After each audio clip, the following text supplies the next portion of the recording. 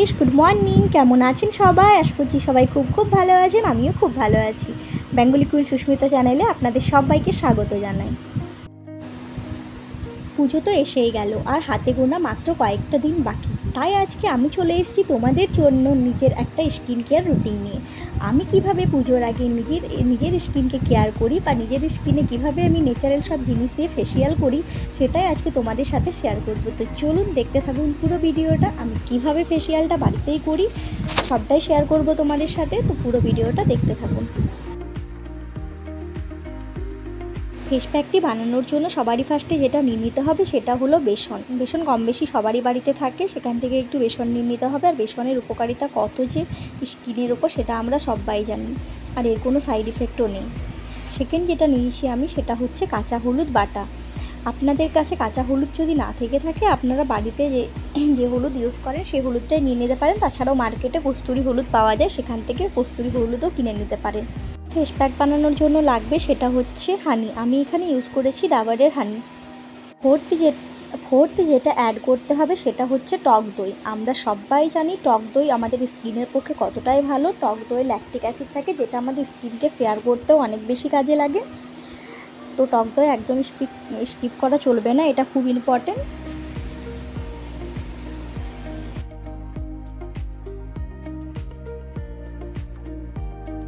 এবার সব উপকরণগুলো ভালো করে মিক্স করে নিতে হবে।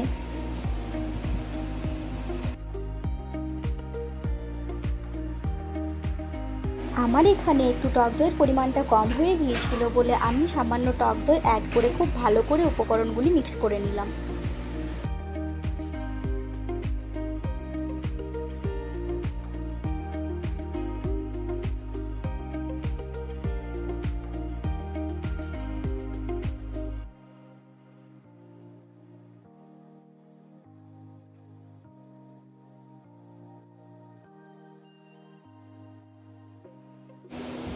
এরপর সবার ফার্স্ট যেটা করতে হবে সেটা হচ্ছে মুখটা খুব ভালো করে ক্লিন করে নিতে হবে। আমি আমার মুখটা খুব ভালো করে ক্লিন করে নিয়েছি।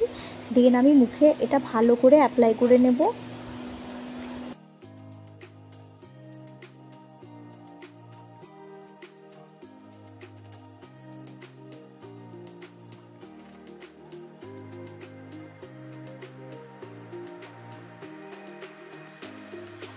আমি ফেস প্যাকটি ভালো করে পুরো মুখে অ্যাপ্লাই করে নেব।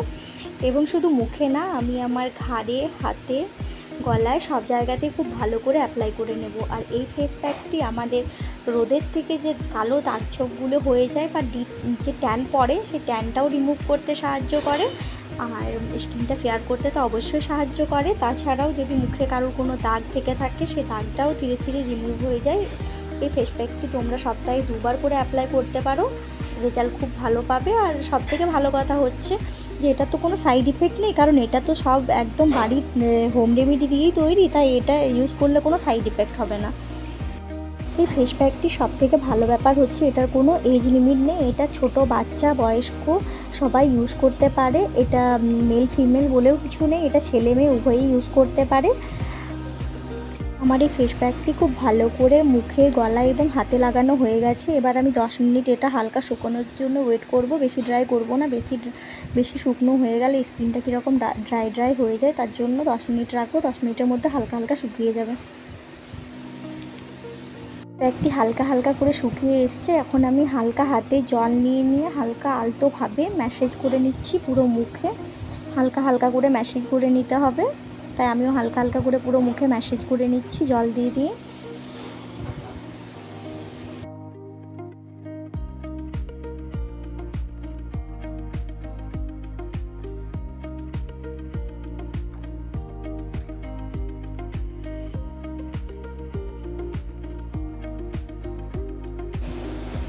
এভাবে পাঁচ মিনিট মুখে, হাতে, গলাতে ভালো করে ম্যাসেজ করে নিতে হবে। আমিও পাঁচ মিনিট ভালো করে ম্যাসাজ করে নিয়েছি।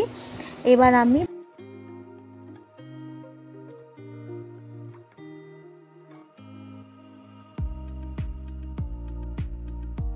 আমি এবার রুমাল, একটা রুমাল জলে ভিজিয়ে সেটা দিয়ে ভালো করে মুখটা ক্লিন করে নেব আর রেজাল্ট তোমাদের সামনেই।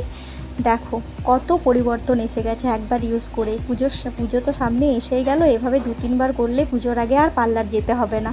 পার্লার যাওয়ার টাকা পুরোপুরি বেঁচে যাবে। বাড়িতেই তোমরা এই ফেসিয়ালটা ট্রাই করতে পারো আর